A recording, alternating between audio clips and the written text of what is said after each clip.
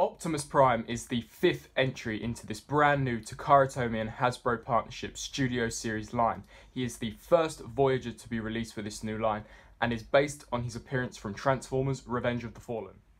The packaging is very similar to that of the deluxe classes. We have a very nice concept image of the character, Optimus Prime Studio Series Transformers Revenge of the Fallen, Takara Tomy and Hasbro. The side of the box has a larger image of the character's concept art the back of the packaging showcases the figure in both his robot mode as well as his truck mode. It says that he transforms into 35 steps. Optimus Prime fiercely takes on Decepticons, risking it all for freedom is the bio that we get. He is from the forest fight, he does come with the backdrop, and he is big screen inspired. On the bottom of the packaging, we've got some deluxes as well as his Wavemate Starscream. And then finally, the other side of the box shows a closer up image of the head design of Optimus Studio Series and that he is figure number 5. As with all these Studio Series figures, he does come with a backdrop, as this is Optimus Prime based on his forest battle appearance from the second movie. We do have a nice diorama of that forest that we see him, Megatron, Starscream and Grindor all fighting. It has been replicated extremely well and does definitely look very authentic to that forest that we see him fight in the movie. This Optimus Prime is a completely brand new mold and is based upon his appearance from the second Transformers movie. He has been detailed impeccably well with a very very well done head sculpt with some fairly nice paint applications applied to it. We have got some silver smokestacks, we can make out the chest section. Unfortunately, we do have these ugly black hinges in the middle of the chest. However, in hand, it's not as obtrusive as it is in pictures. We've got very nice detailing in the torso section as well as the lower crutch section. The thighs have all been detailed appropriately and are fairly nice. We've also got some nice detailing on the shins. The forearms have been detailed fairly well as well. They're not too detailed, however they do have enough in order to make the figure appear to be substantial. Turning the figure around, we do have some form of a backpack, however it's definitely not that bad in hand whatsoever. I would have preferred it if perhaps you could have folded this section back once more so you just had this one panel here. However, in hand, it really doesn't look that bad whatsoever. And overall, details and paint on this figure are not too bad. If I had one gripe, it would be that the colours are fairly dark, making this figure fairly muted on the shelf. It would have been nice if they would have included some more vibrant colours, perhaps a lighter shade of red and blue, and definitely a lighter grey colour for the head and upper parts of the body. But overall, for our detail and paint applications, it's pretty nice. Turning to articulation, the figure's head is on a ball joint. It can look up and down as well as side to side. It can also swivel left to right. He does have rotation joints at the arms, allowing you to move them 360. The panel at the top is can be moved upwards, allowing you to hinge the arm out to a very wide degree. He does have bicep articulation, so you can swivel it there. His elbows do bend at 90 degrees as well, and there is surprisingly some wrist articulation. Due to transformation, the figure can articulate at the waist, which definitely helps when posing the figure. The legs can kick forwards that far, and they can kick back quite far as well. They can also hinge out, and there is a swivel at the thigh, and the wheels on the back do not hinder the articulation at all. There is a knee joint, which does allow you to bend it further than 90 degrees, and the knee pads are articulated appropriately. The feet can pivot forwards all the way and also up all the way. They can also pivot in and out to allow for some more dynamic posing. Overall, articulation is fantastic. Turning to accessories, as this is Optimus based from his forest fight, he does come with two of these Energon swords that we see him use multiple times throughout all of the Transformers movies. They are detailed fairly nicely, and you do have some Cybertronian hieroglyphs at the end. They are both exactly the same. Got some nice gunmetal grey over the top of the blade with an orange translucent piece to really give it that energon look. It does have ports on either of them that will plug into the 5mm ports on his hands. They do just slide in fairly nicely and they do definitely give you that look that he does have blades. From the outside, it doesn't look like he's holding them whatsoever. It doesn't necessarily look like he's holding them from any point of view, which I definitely am a fan of. If you do wish to store these in the robot mode, there are some ports on the back, which these tabs here will just slot into. However, you will have to move the gas canisters out of the way, as they do drape along the back fairly well, and I think that that's still quite a nice incorporation of weapon storage. For a size comparison, here is Optimus Prime next to his wave-mate Starscream, as well as the first wave of Deluxes. As you can see, he is considerably shorter than Starscream, but however, he is tall enough to be associated with the Voyagers as he does tower over all the Deluxes. I do think the scale works quite well between Ratchet and Optimus, however, I don't think the scale between Optimus and Bumblebee works too well. I do actually think Optimus should have been a tad larger. The scale between Starscream and Optimus, whilst it doesn't look natural, it is actually accurate to the movie. So I'm glad that Hasbro has incorporated scale into this line. For one final size comparison, here is Studio Series Optimus Prime compared next to the Age of Extinction Evasion mode and the brand new The Last Knight Voyager Prime.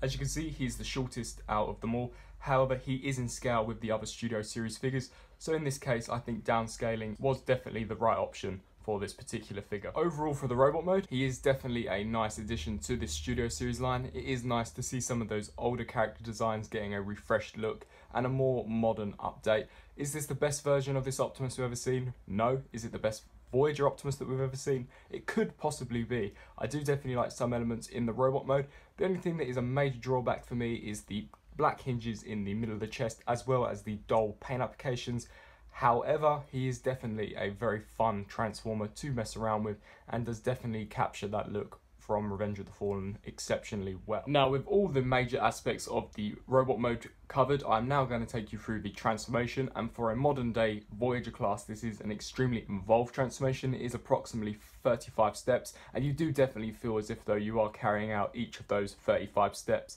He is an extremely complex transformation, and it's definitely one that I think will be extremely familiar to movie fans. Firstly, you want to lift this section on either side of the robot mode. You then want to take this leg section down and bring it all the way down until it clips into this section here. With the same process applied to the other leg, you then want to push these sections in all the way, very reminiscent of the evasion mode Optimus Prime leg transformation, and just clip them in so that the feet are flush against the shin sections like that. You then want to take this section and tab it in appropriately just so that you can seal legs tightly shut. Moving up to the arms, you actually want to rotate them around like that and lift these panels outwards all the way and fold the fists inwards. Repeat the exact same process on the other side. Once you've done that, you then want to take this section and bring it down so that the cab section is flush against the fist, just like that. With both arms complete, you now want to take these sections here and just pull them away from them. They are on tabs that plug into these. You just want to separate them, but be fairly gentle as these sections do feel as if though they are brittle. And as they are clear plastic, I don't necessarily think the durability is great on them. You then want to take these pieces here, and there are tabs here and here that will tab together. Not the securest connection, they are very likely to come undone. You then want to rotate the arms upwards in that position and begin to bring them down, just like that. Before we do any more work on the arms, you want to take this entire section and rotate it all the way around. This will just allow for some more clearance when you pull those arms down and when you begin to transform the upper torso section. Now you can bring this section all the way down and there are some tabs here and here. These two will just completely sandwich together and will clip into place, creating a fairly secure connection. Once they're tabbed in, you can just line up the top half of the truck and you will have a fairly secure connection point. Now what you want to do is bend where the elbow sections would be all the way upwards, just making this piece here sit flush with where the window sections are going to become apparent. Now you want to come to the back section, lift this up slightly just so you can see what's going on, unpeg these pieces here, these are the grill, and then you want to rotate them around just like that. And now there is a little slot section that will tab into this section here. You just want to give it a firm push and it will all go in fairly well. With both of these sections now tabbed in, we can now bring the two grill sections together, just really firmly push them all together and you will secure the front half of the cap section. Coming to the back of the figure yet again, you want to pull out where these gas hubs are and just pull them all the way forwards which will then allow these flame panels to, to come out. You then want to bring the gas canisters all the way back and then this slot in there will tab into that tab there.